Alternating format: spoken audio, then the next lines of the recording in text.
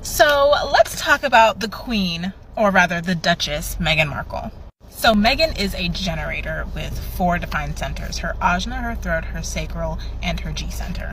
So you have this powerful woman with a very strong sense of self who has very strong opinions and who is going to voice those opinions while at the same time following her passions and what excites her and lights her up.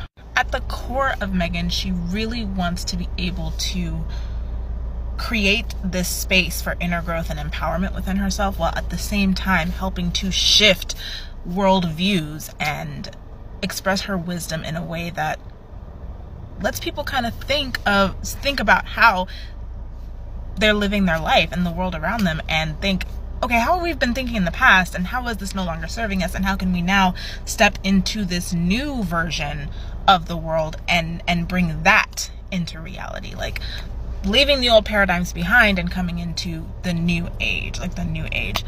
Um, and a big part of her chart is that she was she's here to question authority, which is hilarious because she married into the royal family and someone who has a knack for questioning authority and questioning rules. I feel like that's an interesting place to be.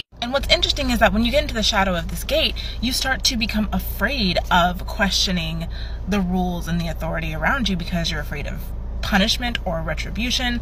And again, we are talking about the royal family. So I I have to I have to assume that there was some of that going on, reason why one of the reasons why they decided to leave.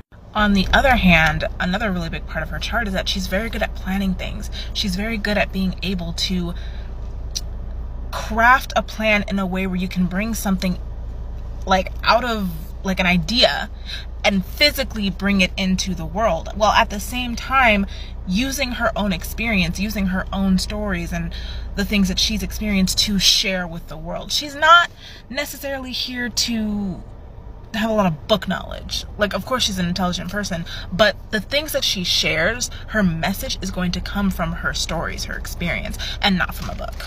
Let me know if you guys want to see a part two where I compare Meghan's charts to Princess Diana's chart. I've been thinking about that. I might do that.